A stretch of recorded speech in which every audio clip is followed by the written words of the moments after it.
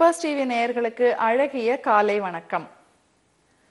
ஒரு ஊர்ல லலிதா சதாசிவம் அப்படின்னு ஒரு தம்பதி இருந்தாங்க.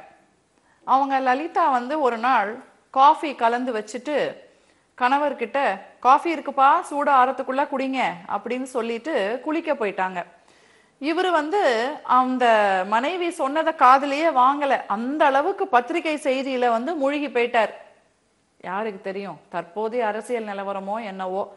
அவருடைய ஆர்வம் ரொம்ப பத்திரிகையில இருந்ததுனால அந்த காஃபியை அவர் குடிக்கல. அவங்க மனைவி குளிச்சுட்டு வந்து பார்த்தாங்க. காஃபி வந்து ஏடு படிஞ்சு போய் ஆறி போய் இருந்தது. கணவரை பார்த்தாங்க. காஃபியை பார்த்தாங்க. அடுத்து என்ன நினைக்கணும்? அடுத்து என்ன நடக்கும்னு நினைக்கிறீங்க? இல்லை. அந்த அம்மா தரைக்கும் சீலிங்க்கும் தையா தக்கா தையா தக்கான்னு குதிக்கல. ஏங்க நீங்க இப்போ பாத்ரூம்ல பைப்பு ஒழுகிட்டு இருந்ததுன்னு நான் சொல்லிட்டு இருந்தேன்ல அந்த பைப்பை வந்து என்ன அழகா சரி பண்ணிட்டீங்க? எப்படி பிளம்பர் அவ்வளோ வேகமா புடிச்சிட்டு வந்து கூடவே இருந்து வேலையை பண்ண வச்சிருக்கீங்களே? அந்த கதவு கூட ஏதோ கீச் கீச்சுன்னு சத்தம் போட்டுட்டு இருந்தது பைப்பும் திறக்கும் போது கேன்னு சத்தம் போட்டுட்டு இருந்தது எல்லாத்தையும் சரி பண்ணிட்டீங்க போல இருக்கு. எப்படிங்க? சே அருமையா இருக்குங்க. உங்களை மாதிரி ஒரு கணவர் இருக்கும்போது எந்த பிரச்சனை இருந்தாலும் சீக்கிரமா சால்வ் ஆயிடுங்க. அப்படின்னு அவங்க சொல்றாங்க.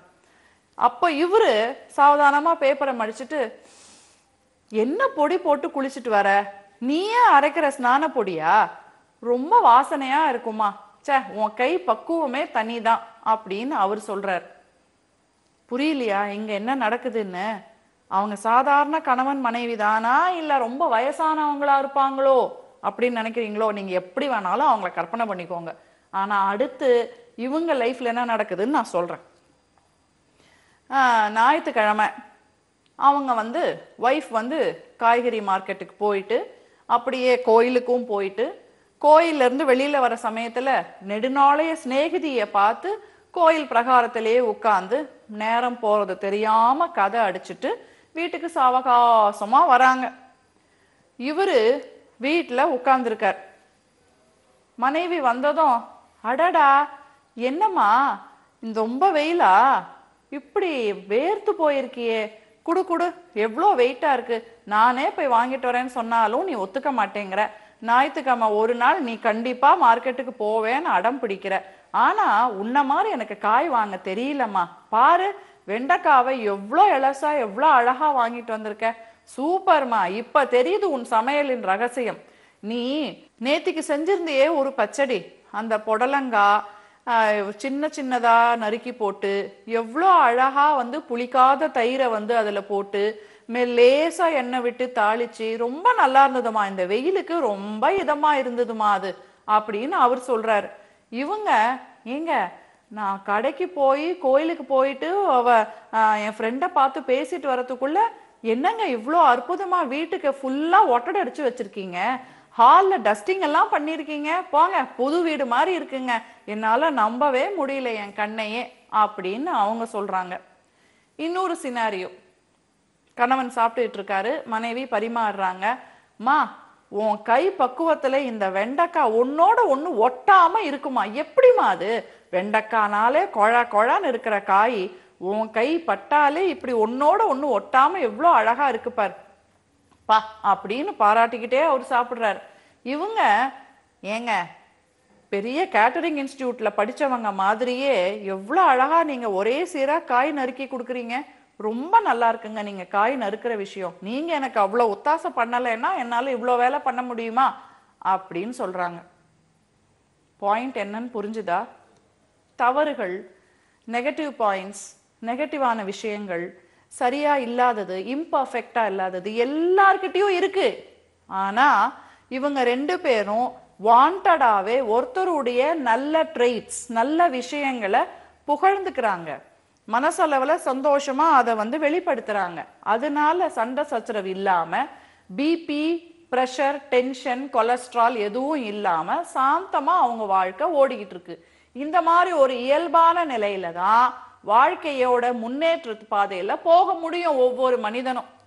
நீங்களே அதை முயற்சி பண்ணி பாருங்களேன். ஆமா வந்துட்டான் அப்படின்னு உங்களுக்கு பிடிக்காத ஒரு சொந்தக்காரங்க வீட்டுக்கு போக வேண்டிய கட்டாயம் வந்தா கூட அவங்க வீட்டில் போய் அவரை புகழணும்னு அவசியம் இல்லை. அடடா பரவாயில்லையே. நியூஸ் நியூஸ் பேப்பர் எல்லாம் நேர்த்தியா அடுக்கி வச்சிருக்கீங்களே. நிறைய வீடுகளில் ஏன் எங்கள் வீட்லேயே கூட இந்த நியூஸ் பேப்பரெல்லாம் டேட்டு வாரியாக அடுக்கி வைக்க எங்களால் முடியறது இல்லைங்க அப்படின்னு சொல்லி பாருங்க. அந்த சொந்தக்காரர் உடனே உங்ககிட்ட பேச ஆரம்பிச்சிருவார். சண்டை சச்சரவு பழைய பகை எல்லாத்தையும் மறந்து பேச ஆரம்பிச்சிருவார். எந்த இடத்துல நாம் இருந்தாலும் மற்றவங்களை சின்ன சின்ன விஷயங்களுக்கு புகழ்ந்து தான் பார்க்கறது. நமக்கு புகழ்ச்சி வேணும் அப்படின்னு இருக்குல்ல. எப்பேற்பட்ட மனிதனாக இருந்தாலும் ஒவ்வொருத்தருக்குமே வந்து உந்து சக்தி எது அப்படின்னா பாசிட்டிவான விஷயங்கள் தான். இந்த பாசிட்டிவான வார்த்தைகள் நீங்க சொல்லும்போது மனசுக்கு கிடைக்கிற ஒரு சந்தோஷம் கேட்குறவங்க காது குளிர மனசு அப்படியே மெல்ட் ஆகி அப்புறம் என்ன போங்க உங்களை சுத்தி உங்களுக்காகவே உங்களாலேயே அப்படின்னு உங்களை வந்து மையப்படுத்தி நிறைய விஷயங்கள் நடக்கும். ஆஃபீஸில் உங்கள் சீனியர்ஸ் கிட்ட தேவையில்லாத சமயத்தில் அவர் தேவையில்லாத விஷயங்களை பேசினா கூட இப்போ உதாரணத்துக்கு ஒரு மார்க்கெட்டிங் மீட்டிங்கில் ஏதோ ஒரு பகவத்கீதையிலேருந்து ஸ்லோகங்களை சொல்கிறாருன்னு வச்சுக்குவோம். அவருக்கு தெரிஞ்ச விஷயம் அதுதான். ஆனால் அது அந்த மீட்டிங்க்கு சம்மந்தமே இல்லாமல் இருக்கலாம். அவர் முதுகுக்கு பின்னாடி சிரிக்காம அவர்கிட்டயே போய் நாசூக்கா சார் என்ன அற்புதமாக சொல்கிறீங்க சார் ஸ்லோகம்லாம்? அப்படியே அக்ஷரம் பெசகாமல் சொல்கிறீங்க சார். ஆனால் என்ன? இதை வந்து இந்த இடத்துல சொன்னதுனால அது வந்து எடுக்காம போயிடுச்சு சார். அதுக்குன்னே சில மீட்டிங்ஸு சில செஷன்ஸு ஒர்க் ஷாப்ஸ் எல்லாம் இருக்கும்போது சொன்னீங்கன்னு வச்சுக்கோங்களேன். உங்களை அடிக்க ஆளே இல்லை சார். வேற யாருக்கு சார் தெரியும் உங்களை மாதிரி சொல்றதுக்கு? அப்படின்னு கொஞ்சம் ஐஸ் வச்சு பாருங்க. நீங்க லேட்டா வந்தா கூட கண்டுக்காம போயிடுவாரு உங்க ஆபீசர் ஆக புகழ்ச்சி தாங்க. எங்க கடவுளுக்கே நாம என்னங்க பண்றோம்? லட்சம் அர்ச்சனை கோடி அர்ச்சனைன்னு அவரை புகழ்ந்து தானங்க நாம வந்து பாமாலைகள் பாடிக்கிட்டு இருக்கிறோம். அதே தாங்க மனுஷனுக்கும். எல்லா இடத்துலையும் புகழ்ந்து தான் பாருங்களேன். இன்னைக்கு புகழ்ச்சியோட உங்களை சந்திச்சிருக்கேன். நாளைக்கு வேறொரு கதையோடு சந்திக்கிறேன். நன்றி வணக்கம்.